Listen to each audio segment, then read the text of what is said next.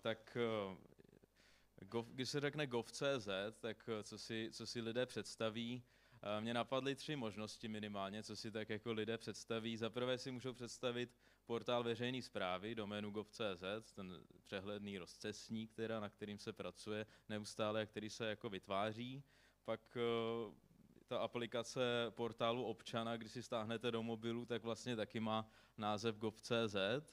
No ale pak vlastně jako je to samozřejmě i ta doména gov.cz, že jo, jako mají i jiný státy evropský a, a státy Severoatlantské aliance, uh, gov.nl, třeba chce Nizozemsko, to jsme vlastně taky prezentovali velmi podobnou přednášku nebo přednášku prezentaci kolegům z Nizozemska, kteří se chtěli teda inspirovat u nás. Tak uh, a to, tomuhle vlastně třetímu uh, co vlastně má evokovat gov.cz, tak tomu se chci věnovat. Jo? Takže jenom chci jako na, na úvod uvést, že tahle přednáška nebude o portálu veřejné zprávy ani o portálu občana, ale skutečně jenom o té migraci na jednotnou státní doménu gov.cz. Na tomto úvodním slajdu vlastně vidíte v hrubých obrysech, eh, čeho se tento vládní záměr nebo projekt má týkat. Jo. Takže eh, týkat se má především prostě přechodů celostátních webů eh, všech ústředních orgánů státní zprávy, to znamená ministerstev a jiných ústředních orgánů státní zprávy a všech jejich celostátních podřízených organizací, tak jejich weby i e-maily státních zaměstnanců mají přejít na doménu gov.cz. Pak v dalších slajdech jako uvidíme, jaká je aktuální stav a, a proč to vlastně jako děláme a ty důvody, ale to se, to, k tomu se dostanu pak dál. Tak jenom na úvod vlastně chci říct vlastně ten rozsah.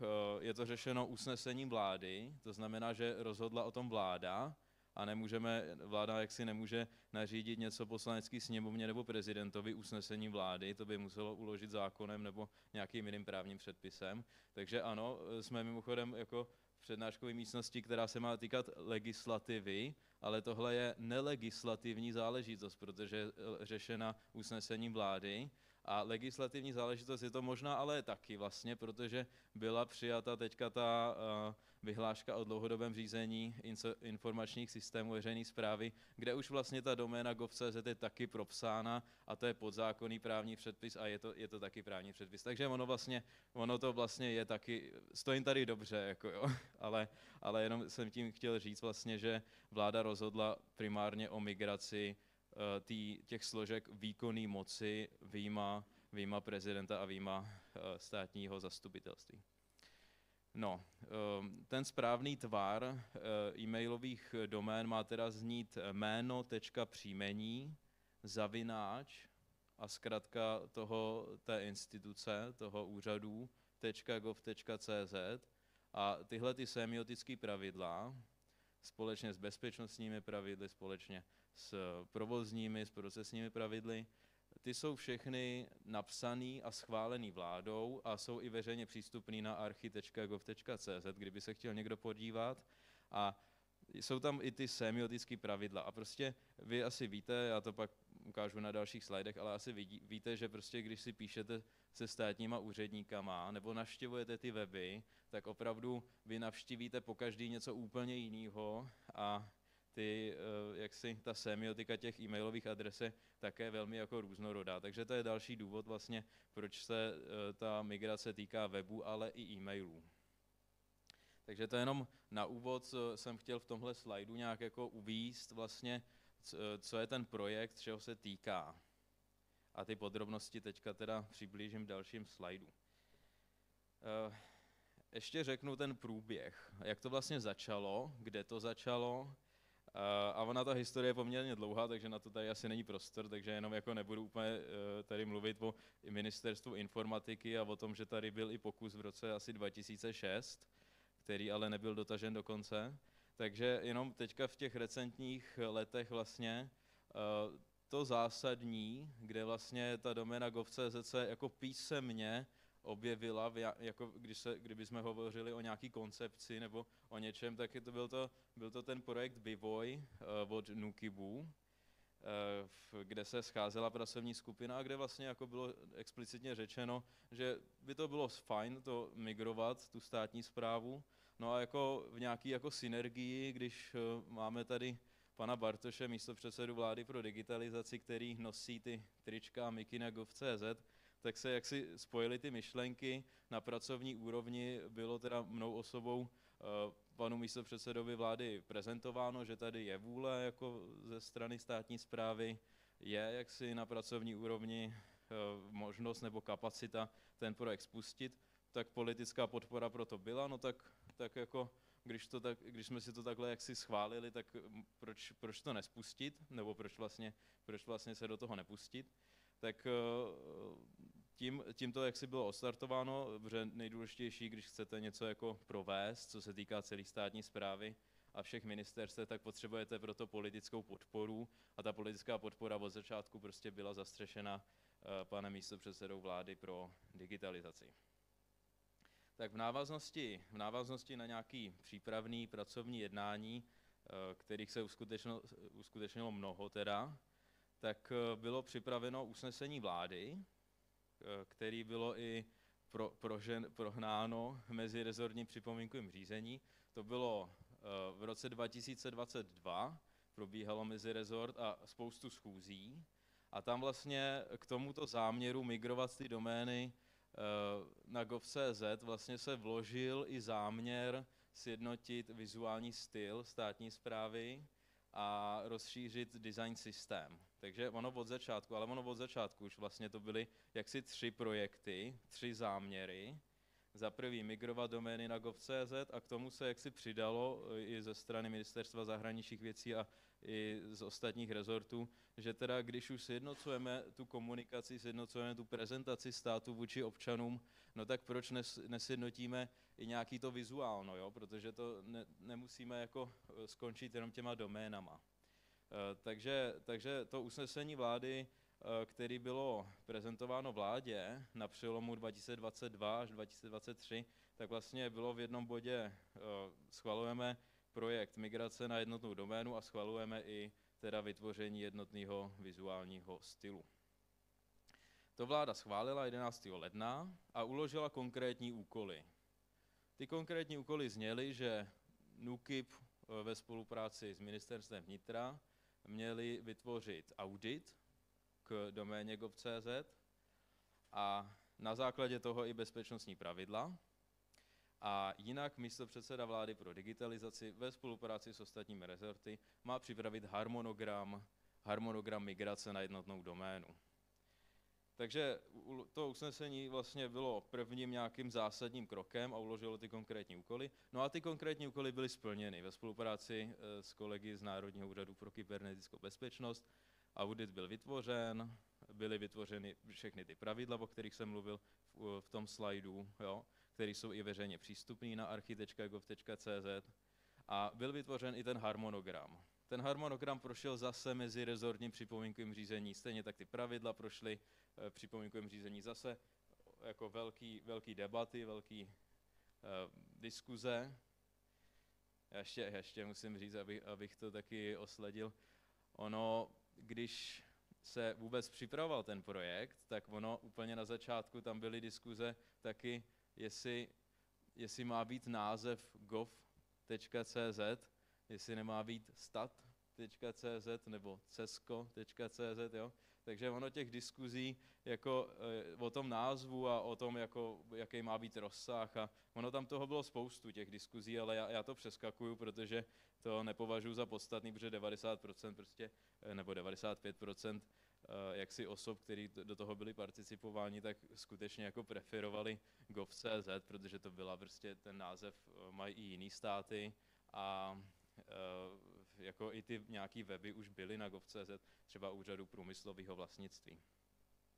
No a takže tohleto MPŘ bylo taky poměrně rozsáhlý, ale bylo opět vládě předloženo bez rozporů, to znamená, že došlo k nějakému koncenzu, došlo k nějaký, k nějaký schodě, i když teda třeba ministerstvu práce a sociálních věcí teda bylo uh, poněkud, nebo ne poněkud, bylo prostě ustoupeno v tom, že termín bude mít v roce 2025 eh, k migraci těch domén, ale jinak teda celá státní zpráva, v podstatě všechny jiný ústřední orgány státní zprávy, kromě MPSV mají jednotný termín do konce roku 2024. Já to možná ještě ukážu, když už o tom mluvím. Ten, eh, já jsem si ho úplně dal na konec, ale jenom pro představu, takhle vypadá ten harmonogram, který vláda schválila. Jo. A tady nejsou všechny ty ústřední, ono jich je teďka 31, protože 30 nebo 31, teďka přesně nevím, jestli mě se to někdy zamotá, protože některý úřad přibyl jako poslední dia, ale jeden ubyl, a což je ten úřad pro přístup k dopravní infrastruktuře, který se sloučí s úřadem pro ochranu hospodářské soutěže. Takže tohle je vlastně harmonogram, který byl schválen, ale tady už je vlastně i nějaký progres, kde už, kde už jako úřady migrovaly, kde, kde ještě nemigrovali Eh, kde je nějaký prodlení a tak podobně. Takže jenom pro představu, toto bylo na vládě a to vláda schválila. Tohle usnesení bylo taky na vládě, mimochodem, že jo? A těch úkolů tam je víc, ale celý se mi to tam nevešlo. Ale to důležité je prostě, že vláda schválila ty procesní pravidla nebo ty bezpečnostní pravidla a eh, ten harmonogram a uložila prostě povinnost všem těm ústředním orgánům státní zprávy provést tu migraci na jednotnou státní doménu. Takže to je ten pátý krok, tedy předložení vládě. To, to, ty dva dokumenty byly vládou obě, oba schváleny v srpnu 2023 a od té doby vlastně ta migrace jede. Od té doby ta migrace prostě probíhá. Aktuálně e, zmigrováno je tři ministerstva a asi 15 úřadů a hodně těch podřízenek už taky mají za, zaregistrováno nebo zařízeno ty domény, že už je mají prostě, ale ty weby třeba ještě nemigrovaly nebo migrovaly nejdřív e-maily, jo, protože každý ten úřad má tu infrastrukturu nebo tu, ty svoje donosy nějak jako zařízený jinak, takže u každého úřadu to je řešeno trošku jiným způsobem. Takže to je asi k tomu průběhu. Eh, možná ještě na závěr, eh, jako abych do, do, do kreslení, eh, co, co jako ještě bude po tom roce 2024, až budou všichni ministerstva a všechny úřady zmigrovaný na gov.cz, tak ještě bude předloženo vládě zpráva o plnění a NUKIP ještě provede nějakou závěrečnou zprávu, pokud se nepletu. To je v tom usnesení taky. Takže ještě bude předloženo vládě jeden, jeden dokument jako pro informaci, ale spíš. A pro motivaci teda těm, těch ústředních orgánů státní zprávy. Um, jinak uh, prezident, kancelář prezidenta, poslanecká sněmovna i senát o tomto záměru vědí. Na pracovní úrovni byli přizváni k jednáním, takže ono taky gov.cz jako government z anglického je, jak si má evokovat, eh, nebo takhle. Možná kdybychom to přeložili volně, tak je to spíš jako vláda, government, ale v tom prostředí té domény, nebo v té zkratce gov, uh, spíš evokuje jako veřejný sektor, jako celek, jo, jako státní sektor. Jo, takže proto i ty jiné složky státní moci, jako zákonodárnou a soudní moc, můžeme klidně migrovat samozřejmě na jednotnou doménu gov.cz taky. A je to, je, je to jako, je na tom schoda, že by, že by zákonodárná moc i soudní moc, nejenom výkonná, by měla pak migrovat taky. Ale ještě k tomu negativnímu vymezení, ale samozřejmě není žádoucí, a to jsem neřekl možná na začátku, není žádoucí, když máme jednotnou státní doménu gov.cz, aha, tak už, tak já to zrychlím, není žádoucí, aby migrovala samozpráva, nebo aby, aby uh, migrovali microsity nebo domény přechodného charakteru nebo domény zanedbatelného významu nebo regionálního významu. Takže ta migrace se týká skutečně celostátních informačních systémů, celostátních webů, eh, celostátních záležitostí. Tak příklady pro ministerstva www. už nepotřebujeme, viditelný, to se může řešit přes CNAME, že jo, samozřejmě. A nepotřebujeme v doménách CR nebo Army nebo nebo jako nadbytečný uh, zkratky. Že jo? Takže uh, cr, prostě mít cr.cz je nadbytečný, protože už gov.cz prostě jednoznačně identifikuje v prvním místě, že to, že to je česká doména, cz, a že to je gov, tak že to je státní doména. Nic jako dalšího, pak prostě na tom třetím řádu skutečně může být jenom ta zkratka toho, toho úřadu. A případně, pokud se nehodí ta zkratka z nějakého důvodu, může tam být nějaký krátký název. a těch redirectů tam může být víc, ale ono, těch redi, ono o, o ty redirecty zas takový zájem nebyl teda nakonec, jo. Ale on asi bude, oni jako, myslím si, že těch domen přibude a že se zaberou i ty redirecty postupně. No a teďka zase se vrátím k tomu, eh, k těm e-mailovým adresám. Prostě tady vidíte na příkladu, že úřad vlády doteď měl jako moje instituce, ze který jsem teda, promiňte, já jsem se nepředstavil, já jsem Michal Daněk z úřadu vlády, tak, tak, tak eh, to mělo, to mělo e-maily prostě příjmení tečka jméno, jo. jako jediný snad úřad. Eh, všechny ostatní měli jméno na prvním místě, nebo tam jméno ani neměli, nebo tam mělo jako začáteční písmeno toho jména. Jo. Takže opravdu u každého toho rezortu to bylo jinak, takže to je další důvod, proč vlastně se ta uh, migrace děje. Tyto screenshoty jsem se vypůjčil teda od kolegů z Nukibu a ono těch screenshotů bychom našli celou řadu jako o, od jaký zprávy a e-maily vám jako chodí, phishingový, teďka vlastně dneska byla taky ve, ve zprávách e, zase, že, že bylo útočeno na DNS prostě e, Ministerstva práce a sociálních věcí, takže opravdu to možná je další argument, prostě, že MPSV by nemuselo čekat, možná by to mohlo dokončit i v tom roce 2024. No. Tento, nebo ne, minulý týden bylo jednáno i s bezpečnostním ředitelem úřadu práce, takže tam si myslím, že ono to proběhne jako dřív možná nakonec, no, ta migrace. No a ty důvody ještě na závěr, uh, abych pak byl prostor pro nějaký dotaz ještě. Ty důvody, no tak zvýší se ta kybernetická bezpečnost, zvýší se uživatelská přívětivost, zvýší se důvěryhodnost těch webů i komunikace prostě státu s občanem, uh, search engine optimization, to je diskutabilní, ale prostě gov.cz bude nahoře, prostě, že jo, když jako všechny weby budou na, na té doméně, tak bude vyskakovat nahoře. Uh, nebudou si muset ministerstva dimenzovat vlastní infrastruktury, nebudou muset řešit teda semiotiku, i když to asi je jako zanedbatelný důvod, ale prostě je to taky důvod. Takže, takže těch, důvod je, těch důvodů je víc, proč, proč vlastně to bylo spuštěné.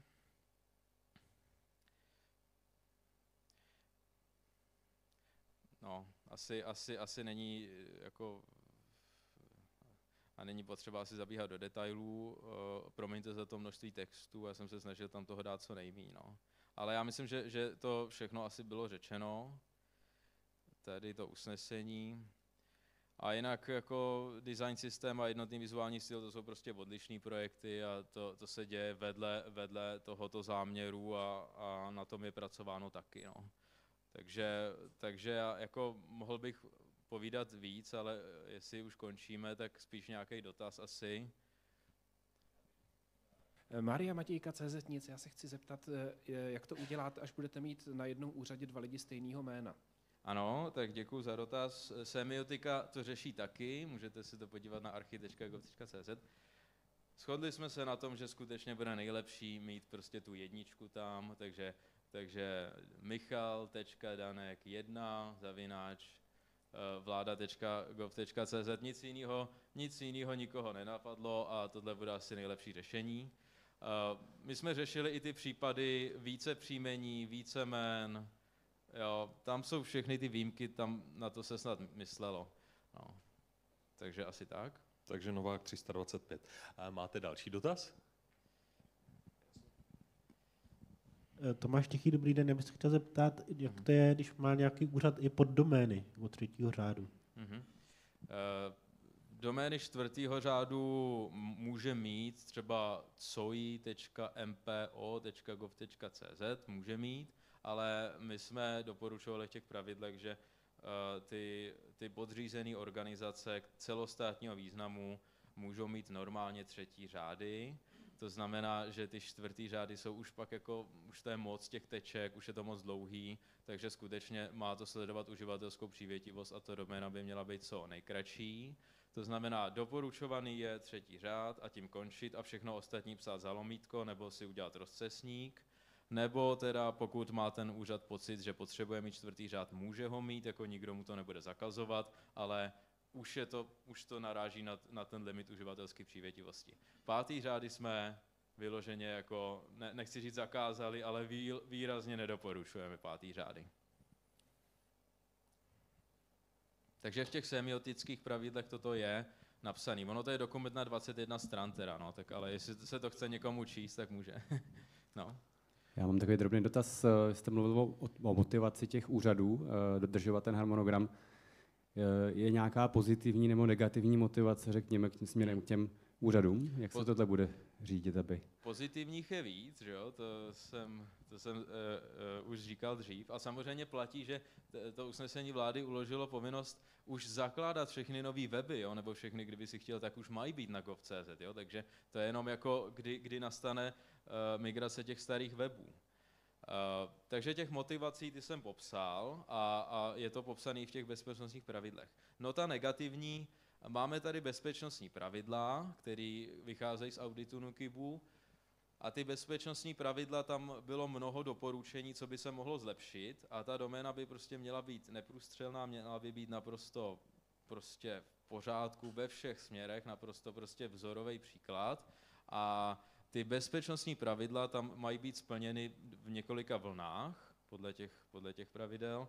Eh, dokonce, teďka mělo být do konce tohoto roku, nebo do konce minulého roku a do konce tohoto roku mají být splněny některé pravidla. Uh, jako tady ty některé pravidla ještě splněny nebyly, jo, budu upřímný. To je, jako ta migrace probíhá velmi dobře, na to, že prostě migruje celá státní zpráva, ale tohle to, což mělo být zabezpečeno vlastníkem domény gov.cz, tak ještě ty bezpečnostní pravidla všechny naplněny nebyly. Takže negativní motivace by mohlo být toto. Příklad, já jsem řekl teda pozitivní, tohle je negativní. Já se možná zeptám víc napřímo. Já jsem to myslel spíš tak, co se stane, když teda ty úřady to nebudou dodržovat, jestli jsou nějaké sankce, nebo jak to je vymyšlený tak eh, bude zpráva o plnění a novináři třeba teďka, jestli jste si všiml, byla e-sbírka, e-sbírka.cz, jako zákony elektronicky. A ministerstvo vnitra jako to neudělalo na doméně gov.cz, ale hnedka přišli novináři, proč to nemáte na gov.cz, když tady máte migraci na jednotnou doménu gov.cz. On se udělal jako rozcesník zákony.gov.cz, no jenomže tam, když kliknete, tak se dostanete na starou doménu esbírka.cz. Jo? Takže za prvý motivace, jako upřímně řečeno, budete jediný úřad, který nebude migrovat, budete poslední dva úřady jako poslední, jako v uvozovkách, promiňte za ten výraz, jako lůzři, který prostě nedokážou migrovat pár svých domén jako na jednotnou doménu. Jo? Takže, takže bude, budou dotazy novinářů, bude zpráva o plnění, a tak jako politická vůle proto byla, vláda to schválila, tak jako spíš bude, bude pak jako nahlíženo na ten úřad jako na ten, co jako není schopen si to zajistit. Tak jo. Já ještě jednou poděkuji Michalu Daňkovi